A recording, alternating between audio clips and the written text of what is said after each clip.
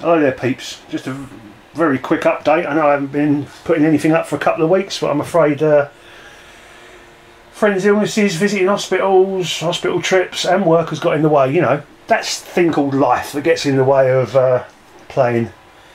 Anyway, where am I on my van?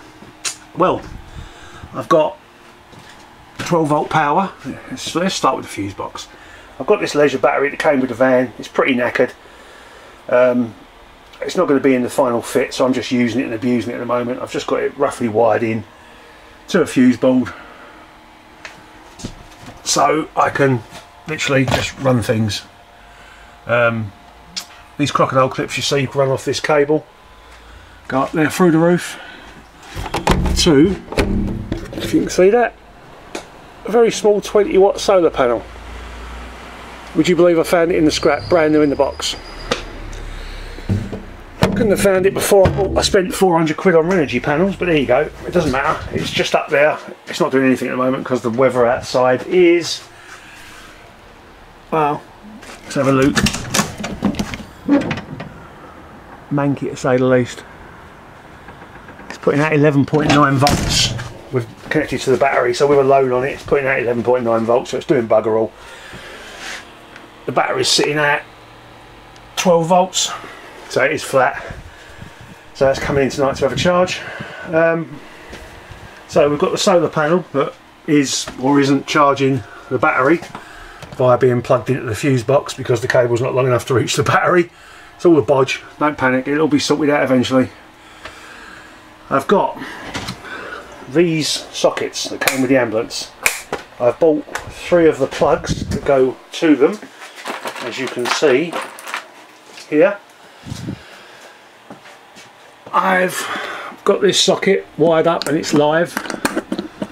They plug into that and that's going to run my 12 volt TV. I've really got not a lot of stuff to run on 12 volt in this van but that socket's wired up and although it's not lit up because I haven't connected it to the fuse board those two sockets are going to be wired up so I will have 12 volts in the van if needed whoever wants to go on 12 volts goes on one of these plugs you can buy on eBay. I think they cost me £3 each, something like that. And you get to use the sockets. I'm leaving the 12 volt sockets up high. Um, simply so I don't spill stuff on them. I don't want to start blowing fuses because I'm a clumsy sod. Um, this one's a double USB socket. It's got a 1 amp plug and a 2 amp plug. At the moment it's just running a fan to get some air circulation in here because it draws less ampage than what these big old buggers do up on the roof tell that by the amount of noise they make. This does draw lots of air out and the one at the back does draw lots of air in it makes really nice circulation but it kills my single battery especially with the uh, solar not connected on the roof.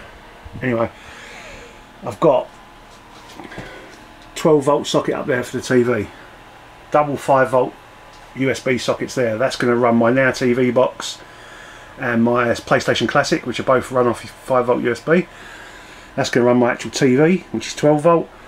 And I've got a spare socket down there which reads voltage to tell you rough it's, it's not very accurate because this one says 12 volts. The one at the back will say 11.9 volts and the actual voltage at the battery I've just measured it with my meter and it is 12.94 so there's you know one's low, one's high. But they give you a rough indication what the battery's like. Um, just so when I wake up in bed I can switch that socket on, check what condition the batteries are in from the bed without having to get up and come over here and check the MC50, which is already MT50.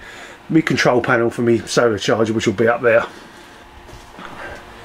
The batteries will eventually be under the floor there in the diesel heater box. I can get three 100 amp hour batteries in there, turned sideways in a row that gives me 150 amp hours of usable power and I've got what have I got up on the roof? I've got 400 watts of solar to go up on the roof or 420 if you count that uh, freebie solar panel I found as you can maybe see down here I've been tracing wiring back doing all sorts of uh, buzzing wires out tracing them see where they go that'll all be tidied back up and the only wires I'm really leaving connected is the auto eject for the shore power everything else is being transferred to this fuse box to run the back of the van. The whole back of the van will be run from the leisure batteries, won't be connected to the front at all.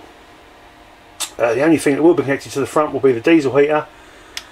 And for that I've got one of these on-on switches.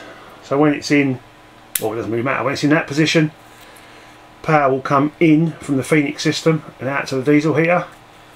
When it's in that position, power will come in from the leisure batteries and go out to the diesel heater. These are normally used the other way around. Normally you put the power in there and you power two different circuits.